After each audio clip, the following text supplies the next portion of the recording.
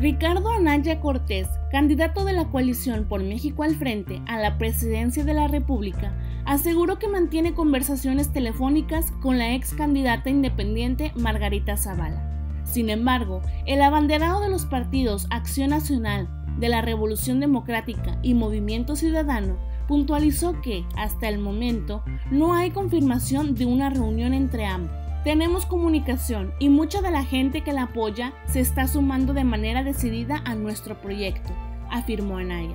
Asimismo, aseguró que los equipos estatales de la campaña de Margarita Zavala se están integrando a su proyecto y puso como ejemplo los grupos de Baja California, Morelos y Yucatán.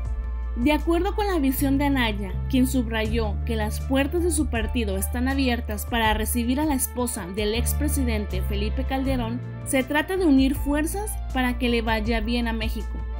En octubre del 2017, Margarita Zavala notificó su renuncia al PAN al considerar que no había condiciones para competir por la candidatura del frente, ya que los espacios estaban secuestrados por Ricardo Anaya y a fin de forjarse como independiente. No voy a polemizar con Felipe Calderón, respondió Ricardo Naya al tuit del expresidente en el que lo acusa de haber violentado los decretos políticos de Margarita Zavala y arrebatarle la candidatura presidencial por el PAN.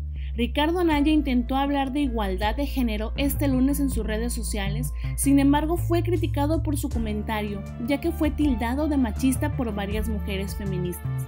A mí no me cuentan que una mujer es la primera en levantarse y la última en irse a dormir. Yo lo vi siempre con mi mamá. Crecí en una familia donde la igualdad siempre ha sido la norma. Por eso un México justo con las mujeres es mi prioridad, escribió Anaya. Tras la publicación, decenas de mujeres cuestionaron al panista sobre la normalización de las tareas de la casa y sobre todo por el rol que la mujer mexicana ha desempeñado en el hogar. A estas críticas se sumó Felipe Calderón. Calderón pidió al candidato que preguntara a su madre si era correcto lo que le había hecho a Margarita Zavala, quien abandonó el partido argumentando desigualdad en la contienda interna del PAN.